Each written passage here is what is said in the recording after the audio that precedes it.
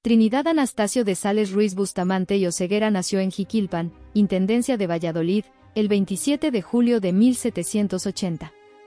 Hijo del matrimonio de José María Ruiz Bustamante y María Francisca Oseguera. Su familia se dedicaba al transporte de nieve hacia Guadalajara, lo cual pudo hacer que se le diera una buena educación. A los 15 años de edad ingresó al Seminario de Guadalajara, para posteriormente ir a la Ciudad de México para donde se graduó en medicina.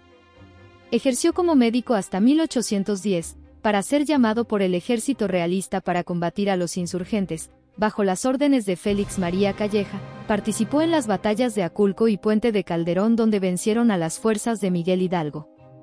También estuvo en el sitio de Cuautla, donde le fue encomendado el perseguir a Morelos.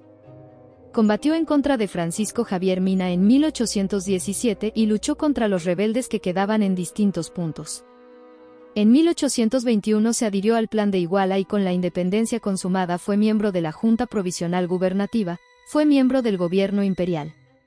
En las elecciones de 1829, quedó en tercer lugar por debajo de Gómez Pedraza y Vicente Guerrero, fue nombrado vicepresidente para el periodo de 1829 a 1833.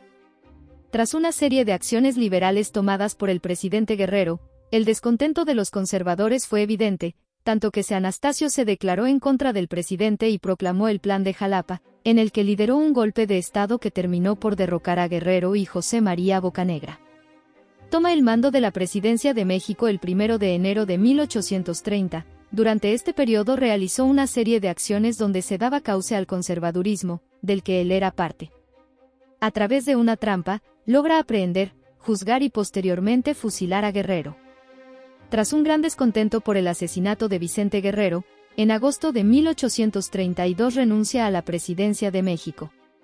Fue acusado de asesinar al general Guerrero, y se le envió al destierro, tiempo en el que viajó por Europa para regresar a México en 1836 al ser llamado para combatir en la Guerra de Texas.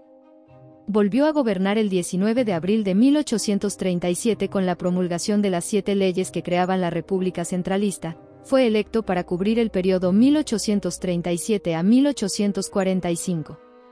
En este lapso de gobierno ocurre la Guerra de los Pasteles contra Francia, la invasión de Chiapas en 1839 y un levantamiento armado de José de Urrea, por el que solicita licencia al cargo el 18 de marzo de 1839. El 18 de julio del mismo año, retoma sus funciones como presidente, para de nuevo solicitar licencia el 22 de septiembre de 1841, a causa de una nueva revolución en su contra. Finalmente decide ceder el mando federal de la República a Santa Anna. De nuevo regresa a Europa para viajar y regresa en 1845 a México. En 1846, los diputados lo nombran presidente del Congreso, mismo cargo que prácticamente no ejerció por culpa de la guerra México-Estados Unidos se retira de la vida pública, para morir el 6 de febrero de 1853 en San Miguel de Allende, Guanajuato. Como última voluntad dijo que su corazón fuera enviado a la Catedral Metropolitana de la Ciudad de México para que reposara junto con los restos de Agustín de Iturbide. Sus huesos reposan en las catacumbas de la parroquia de San Miguel Arcángel, en la ciudad donde murió.